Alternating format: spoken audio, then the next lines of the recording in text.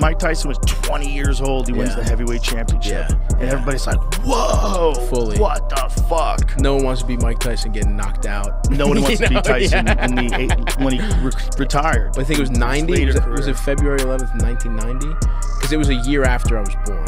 It- or it was the, when he, the, the When he lost to Buster Douglas. Yes, the Buster yeah. Douglas fight. But even after the Buster Douglas fight, he was still Mike Tyson. People were still terrified of him. He- Part of the reason why he was so good was because he was so wild. But Yeah. also, if he wasn't, if he just maximized his insane potential and was like a Marvin Hagler type guy, Right.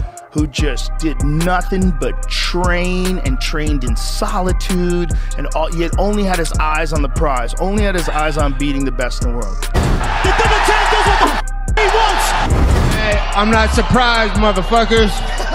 I am a bad guy that's trying to be good. The last